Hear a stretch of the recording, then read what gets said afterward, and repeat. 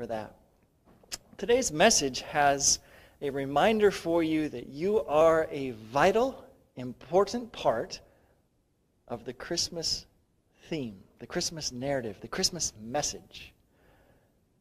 I don't know if you've thought of it before, but we're going to focus on an aspect of your part in taking the good news of Jesus' birth to the world that maybe you haven't realized before. But before we do that, before we jump in, before we remind you of some good news from Scripture, could you bow your heads with me for prayer? Father, you are a good God. And this time of year, we are reminded especially of your love for us. That you loved us so much, you gave us a present in the form of Jesus, your Son. Father, thank you for that.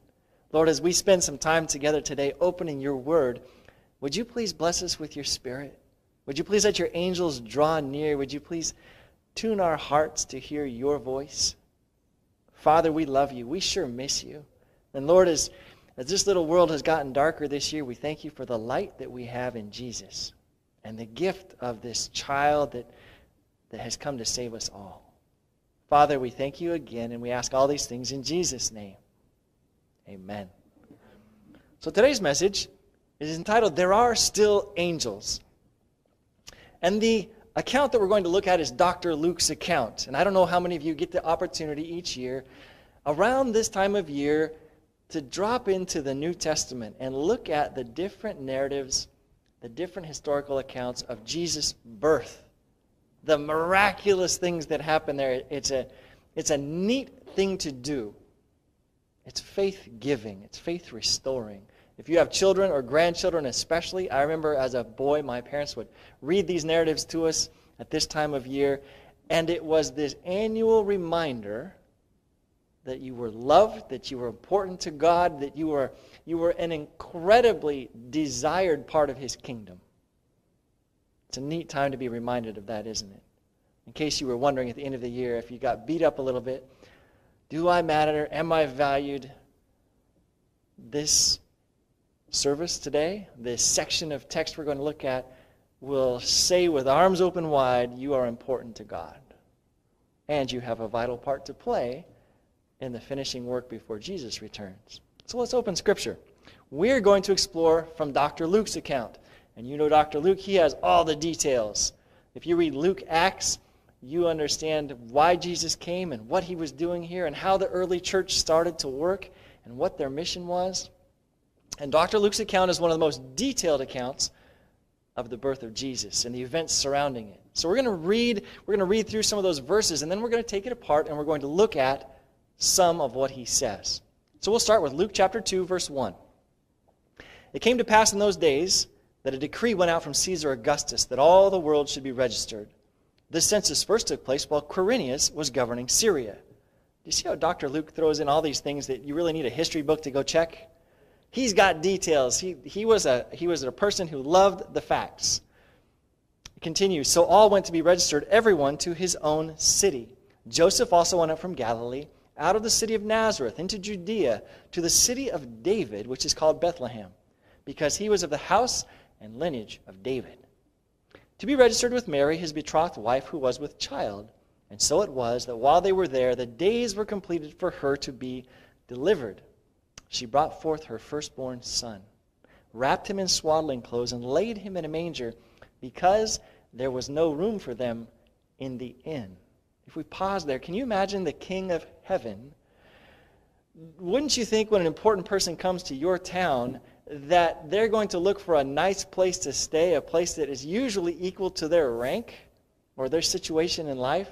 Maybe they would stay with friends. Oftentimes they would stay in the best place they could find. But here comes your Savior and mine, your Creator and mine, the King of the universe, and the only place he can find in the city is out with the animals. And he was willing to do it. That's the incredible part.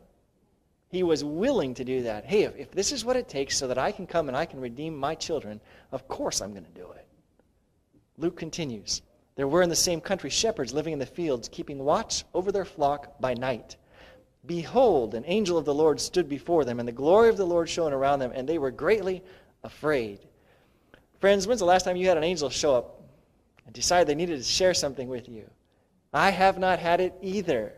But every it seems like every time they show up, or very frequently in the Bible, our first reaction is fear. It's that old Genesis chapter 3 response. When we separated and rebelled against God, we've just been hiding ever since. And the shepherds are afraid. This bright glory is shining there. But listen to what the angel tells them Do not be afraid. For behold, or look, I bring you good tidings of great joy, which will be to all people. There is born to you this day in the city of David a Savior who is Christ the Lord. This will be the sign to you. You will find a babe wrapped in swaddling clothes lying in a manger. Suddenly, there was with the angel a multitude of the heavenly host praising God and saying, Glory to God in the highest, and on earth peace, goodwill to men. How's that for a choir? Can you imagine there, those angelic hosts that are there to sing and celebrate the birth of our Savior, waiting with eagerness for their turn? You know that first angel that was taking his time, telling them, you know, don't be afraid. If I was the other angel, I'd be thinking, hurry up. We've got a song to sing. We have something to say. And they do. Glory to God in the highest. On earth, peace, goodwill to men. Is that a good message for our time? For those of us who have wondered what's heaven's attitude toward us this year, all my mistakes and all my slip ups and all the things I mess up in, what is heaven's approach to me? And it's still this mercy filled message peace, goodwill to you. That's a good thing to be reminded of during the Christmas season. What is God's attitude toward me? Peace and goodwill. So it was when the angels had gone away from them into heaven. The shepherds said to one another, Let us now go to Bethlehem and see this thing that has come to pass, which the Lord has made known to us. They came with haste. They found Mary and Joseph and the babe lying in a manger. When they had seen him, they made widely known the saying which was told them concerning this child, and all those who heard it marveled at those things which were told them by the shepherds. What would your response have been if a shepherd came to you just knocking on your door that night? Hey, we just saw angels. And they said the Messiah has been born. And they told us where to find him. And we found him. And there he was. And moreover, they said that God's attitude was peace toward us and goodwill to us. Would your heart have leapt? Would you have been excited? I hope so. From this narrative, I want to, to remind us of the value of sharing good news. These angels came from the throne of heaven with a message of good news, and they didn't bring it to the kings of the world, and they didn't bring it to the priests. They didn't go visit the temple. They didn't go to the Sadducees or the Pharisees. They did not go to the educated. Where did they go? The shepherds. They went to where people were thirsting for an understanding. The Old Testament says the water will be poured out on those who thirst. And these shepherds must have been out there considering the fact that Daniel's prophecies about the birth of the Messiah were the time was near. That the Messiah's advent was it was coming. They're in the ballpark to bear good news to these people, expecting good news would have been exciting. When's the last time you took good news to someone? If, if you had some good news, whether it was for a child, a grandchild, a peer, a loved one, in this community uh, this last year, someone called me. It was a delight. And they said, Hey, Pastor, uh, we've decided that we would like to give our uh, stimulus check to another family. Do you know how much fun it was for me to go find another family that was really needing that? I was just bubbling as I was out there exploring because I knew that the news that I had to bring to some family out there somewhere was incredibly positive. God wants you to understand from this text, and we're going to explore that, that you have such exciting news for someone out there that you can be bubbling, you can be excited, you can be full of excitement about how to share about Jesus. Because our world today has all the elements of this nighttime scene that we just read in Dr. Luke's account. Our world today still has shepherds. Now, the shepherds today, we could have put that in quotation marks. Your shepherds today in this community, we don't have a lot of flocks of sheep, do we? So let's take the basics The shepherds were the hardworking men and women. They were out there 24 7, 365, doing their part to put bread on the table, pay their bills, provide for their families. Do we still have those kind of people in our community? We are still those people, aren't we? We're still, whether we're retired or we're just starting our careers, whether we are somewhere younger in years or advanced in years, we're the doctors, the dentists, the lawyers, the mechanics. We're the people that are teaching or educating or working or serving this community. We still have people that could use good news. There are still shepherds, if you will, and it is still night. Heaven, when heaven looks at us, sees our condition on this little planet, this little blue sphere, as darkness. It is still night. Let's remind ourselves very quickly of this darkness light imagery that God uses with us. Isaiah. Isaiah chapter 9, verses 1 and 2 says, By the way of the sea beyond Jordan, in Galilee of the Gentiles. And as soon as you hear that, you remember that this is one of those old prophecies about Jesus. The people who walked in darkness have seen a great light. Those who dwelt in the land of the shadow of death upon them, light has shined. Who specifically is this old text talking about? Jesus, isn't it? That he's going to come and he's going to shine light onto mankind. John tells us a little bit more this light and darkness. In the beginning was the Word, the Word was with God, and the Word was God. He was in the beginning with God. All things were made through him. Without him, nothing was made that was made. In him was life, and the life was what? The light of men. So life is, is being, there's this parallel being drawn between having life and having light. That light is life. John continues, The light shines in the darkness, the darkness did not comprehend it. Then he switches for a second to talk about John the Baptist. There was a man sent from God whose name was John. This man came for a witness to bear witness of the light, that all through him might believe. He was not that light, but he was sent to bear witness of the light. That, and now he's talking about Jesus specifically, was the true light which gives light to every man coming into the world.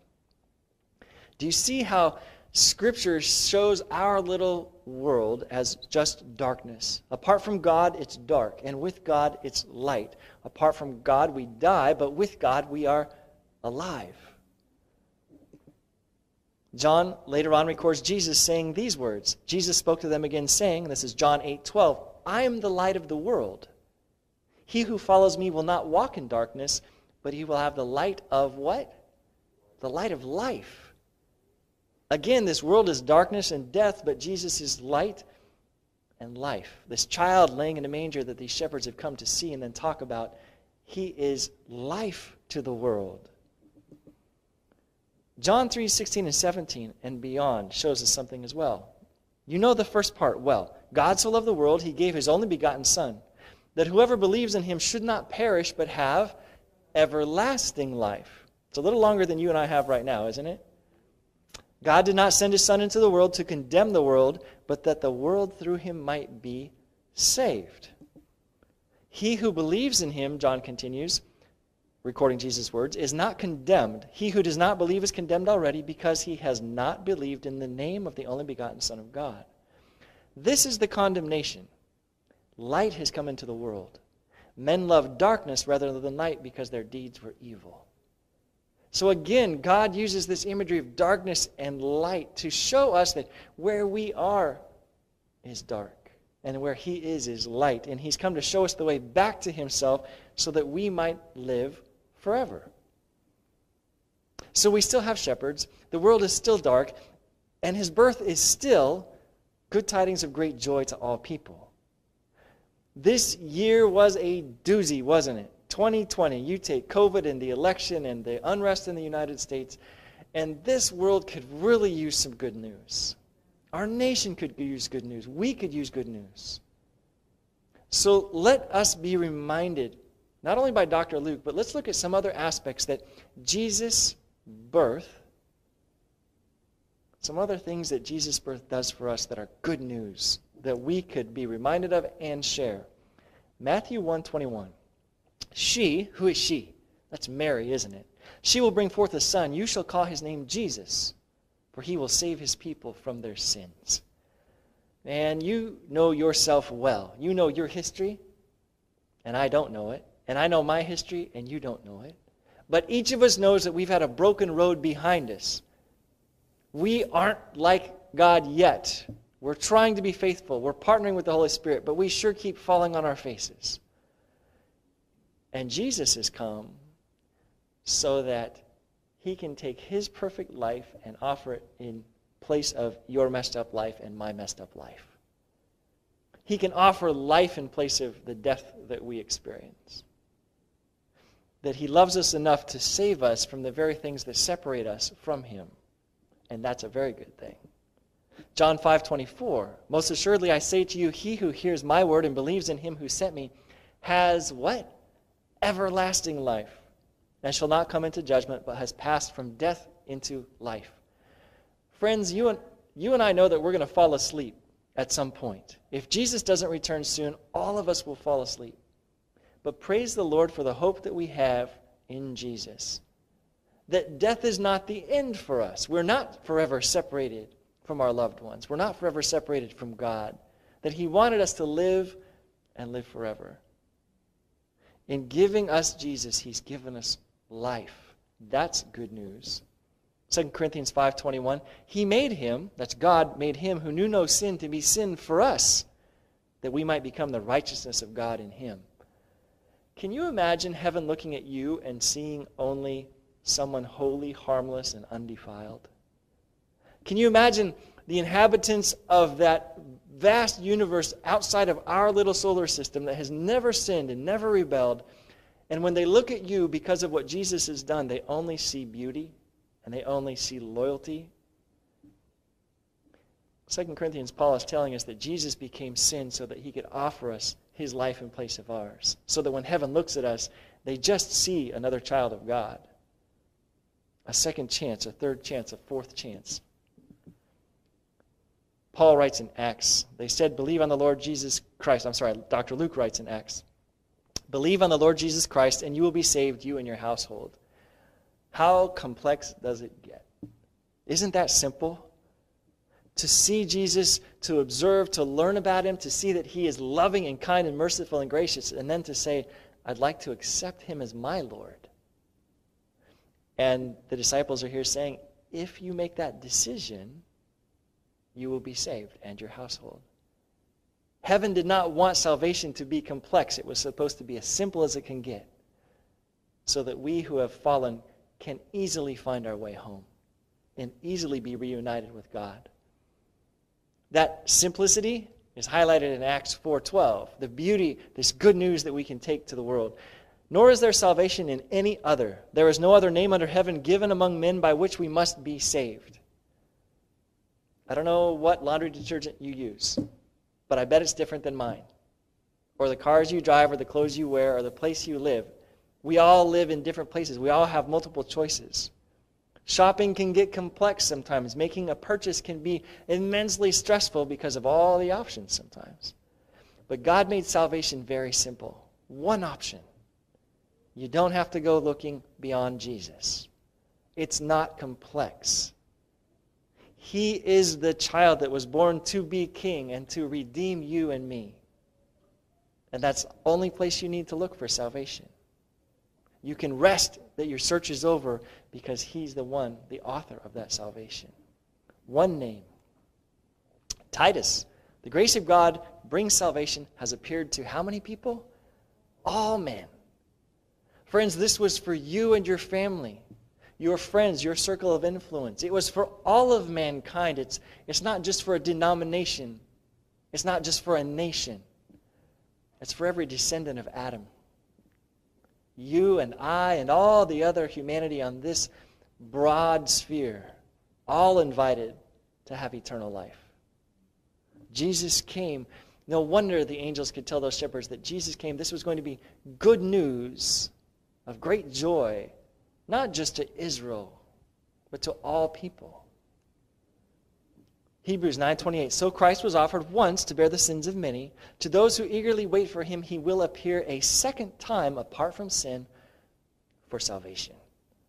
Friends, the best is yet to come. This world is getting darker and more messed up. We continue to drift morally downward and downward. And yet, the best is yet to come because Christ is returning. He had a first advent when he came as a, as a human, a baby. He grew and he lived and he died and rose again, and then he's been in heaven preparing a place for you. Almost 2,000 years now. Soon to be 2,000 years. He's preparing a place just for you. And Hebrews promises that part of the good news for all mankind is that that return is certain. He hasn't forgotten you. You're on his mind every day. Every time he looks at his hands and he sees those prints, he's reminded of your value and the fact that he's returning for you. Romans 1:16 I am not ashamed of the gospel of Christ. It is the power of God to salvation for everyone who believes, for the Jew first and also for the Greek. All of the world is invited in all of our brokenness and all of our messed up, with all of our addictions and all of our sins, we're all invited closer to our Heavenly Father. We're all invited into the kingdom. The babe who comes, the babe who those shepherds go and see, has come to invite every man and every woman into the kingdom. Romans 5 7 and 8 reminds us For scarcely for a righteous man will one die, yet perhaps for a good man someone would even dare to die. But God demonstrates his own love toward us in that while we were sinners, Christ died for us. Now, you could, you could take the last part of that and say, while we were still rebellious, while we didn't want anything to do with God, while we were completely addicted and completely sinful and completely broken, He still loved us and still valued us and still said, Of course I'll go try to save them. Of course I'll show up in a manger because they're worth it. They're my kids. While we were still sinners, Christ died for us. Friends, He calls us broken as we are, and He doesn't leave us that way. But He invites every single one of us to be with Him and near Him. There's room for you in the kingdom, and He wants you there. John 3 16 and 17 again. Because this Christmas season, if you could remember God's great love for you, it will carry away much of the weight of this last year to remember that you are important enough to come and live and die for does something in your heart to lift the weight of what the year can try to put on you. For God so loved the world that he gave his only begotten Son, that whoever believes in him should not perish but have everlasting life. For God did not send his Son into the world to condemn the world, but that the world through him might be saved. Friends, is this the picture of God you and I present to people? If we are like the shepherds and we're running off into the world to share the picture of God and of this beautiful baby that has been born to save all of mankind, is this the picture that we share? A God who did not come to condemn, but to save. Do we start with the love of God when we talk about Him? Do we start with His mercy and His grace? Do we start where He started? Moses said, Show me your glory. And when Jesus, when that pre incarnate Jesus walked past him, you remember what he said The Lord, the Lord God, merciful. That's how God started his own self introduction. Do we start there? Merciful. Because, friends, if our picture of God is that merciful picture of God during this holiday season, certainly the world could use a hopeful picture of God, a merciful God, to say, it's okay to be broken. I'll fix that. Just come as you are. There are still angels. So there are still shepherds. The world is still dark. The news is still good news, and, and there are still angels. And this is something I would like to remind you of your value, of your part to play in this amazing Christmas account. This is the word in Greek, angelos or angelos, depending on how you want to say that. It's simply a messenger or one who is sent. Now, often in the New Testament, when it is clear that the being being sent is not from planet Earth, they translate it as angel. But when the exact same word is clearly being an individual, a human sending another human, we translate it as messenger. And that communicates hey, this is just another human being sent. So let's look at some texts here. Luke 9 51 and 52. Now it came to pass, when the time had come for him to be received up, he steadfastly set his face to go to Jerusalem. He sent messengers before his face. Now, this is Jesus, and he's sending messengers, so who did he probably send? Disciples. He sent someone, he sent another human being, but it's the exact same word as angel. It is one who is sent, it is a messenger. In Matthew 11:10, Mark 1:2, and Luke 7:27, each time referring to John the Baptist, it's the exact same word, but it's translated messenger instead of angel. Behold, I send my messenger before your face who will prepare your way before you. Simply one who is sent. Luke 7:24, the first part says the same thing. When the messengers of John had departed, he began to speak of the multitudes concerning John. This is Jesus speaking about John. But you see, the messengers of John, just some guys or girls, someone that John said, hey, go talk to Jesus. I have some questions. Again, same exact word, translated either angel or messenger, depending on if the being is from here or if the being is from heaven. So, Matthew 28 19, you remember the Great Commission, the Gospel Commission, that after Jesus has left the manger and grown and worked, and he's, he's not quite to Calvary as he's teaching his people how to go, then he comes to Calvary, and after Calvary, all power is given to him. And what does he do with all of his messengers? Commissions them go. He sends his disciples out to tell the good news of salvation. Friends, when's the last time that you ever thought of yourself as an angel of God? A messenger of God. It's the exact same word. But, friends, if there are still shepherds, and if the night is still dark, and the message is still a message of joy for all mankind, we certainly need angels today. We certainly need your voice, your picture of God that you've seen, shared with your circle of influence. You are the messenger of God to that group. Your picture of a loving, merciful, kind, and gracious God who wants to save, not sentence who wants to redeem, not judge, is the very message they need to hear. They are your shepherds, and you are the angel for God. The pictures we've looked at, the little glimpses in Scripture, are not by any means all of the good news, but we've looked at some good news today because they are eagerly waiting to hear good news in a year like this year.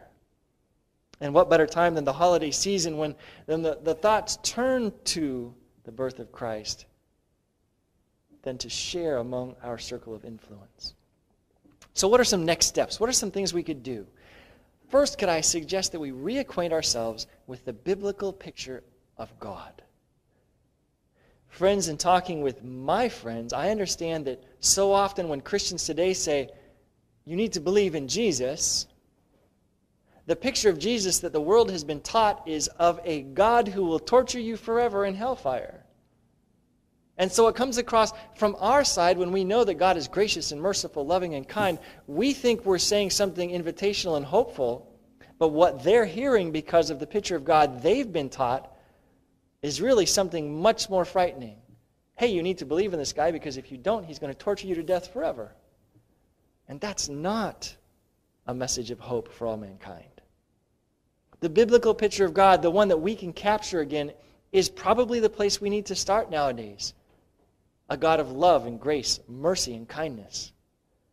Before we ever invite them to follow Him, we may have to make sure they understand that the person we're about to invite them to follow is not the person they've been told about.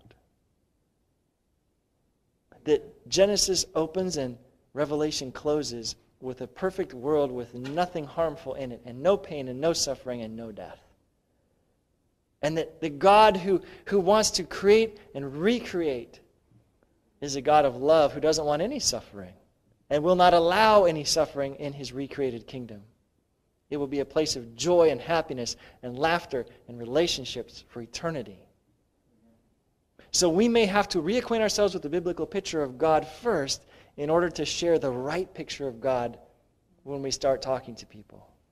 Second, could we pray that God will help us to see who to share with?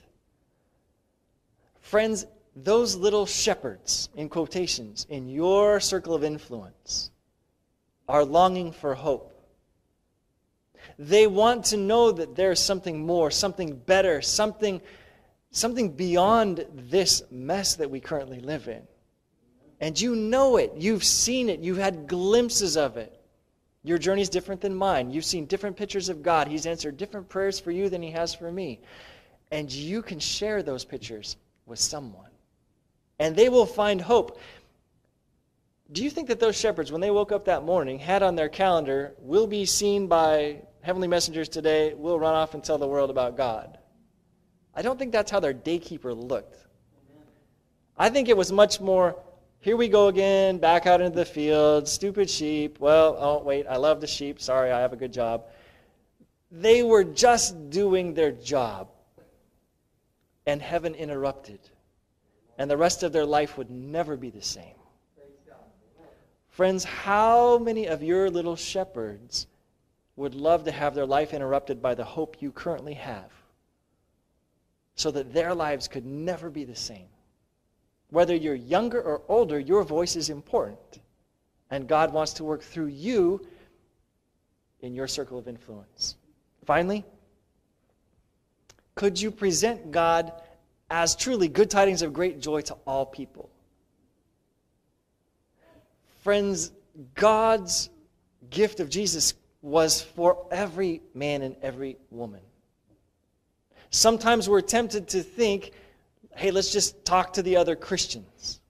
Let's just talk to the other denominations. Let's just talk to the people that already know. Let's just talk to the people that are comfortable to talk with. But that angelic message was good tidings of great joy to all people, especially the broken, especially the hurting, especially the addicted, especially those who are suffering. That message is one they need even more than those other people were more comfortable with. Could we this season, as we reacquaint ourselves with that biblical picture and as we pray for people to be led to, could we then present God as something exciting, something that would be self recommending? You, you want to visit God, you want to talk to Him. He wants to restore you and heal you, He wants to give you a beautiful future. Can we present that picture of God, a winning picture of God, this holiday season? Friends, you are the messengers of God to this generation in your circle of influence. You don't have to worry about preaching to the masses or, or being someone huge and famous. You're already famous where God needs you to be. If He has more for you, He'll lead you there. But right now, He has you in your circle of influence. And you can reach them in ways that no evangelist ever will be able to. Your voice is important, your voice is needed, and you are the angelic messenger for the shepherds in your circle of influence. Amen. Would you bow your heads with me? Father, thank you for the reminder that we are loved. Thank you for the reminder that Jesus was a gift because of that love. Father, thank you for the reminder that it is truly good tidings of great joy for all people. Lord, could you help, help us capture that biblical picture of a, a loving God with arms open wide, trying to redeem everyone? Could you help us be excited about it so that our voice isn't just meh? Could you help us be enthusiastic about Jesus? His love, His grace, His mercy, and His invitation to life light in darkness. Father, thank you for a holiday season in which our thoughts are drawn back to your gift. Please help us to take that gift into the lives of someone else this holiday season and give it freely, we pray. In Jesus' name, amen.